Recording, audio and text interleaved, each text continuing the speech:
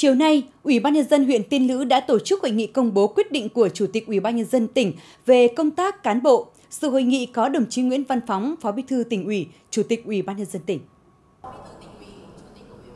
Tại hội nghị, đồng chí Nguyễn Văn Phóng trao quyết định bổ nhiệm chức danh Chủ tịch Ủy ban nhân dân huyện Tiên Lữ đối với đồng chí Nguyễn Thị Bích Hường,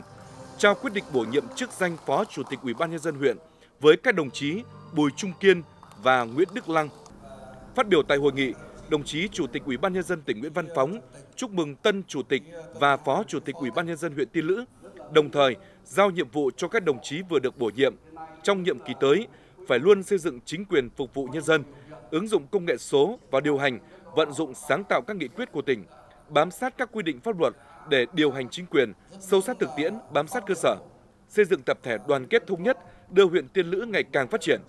Thay mặt các đồng chí vừa được bổ nhiệm, Chủ tịch Ủy ban nhân dân huyện Tiên Lữ Nguyễn Thị Bích Cường tiếp thu các chỉ đạo của đồng chí Chủ tịch Ủy ban nhân dân tỉnh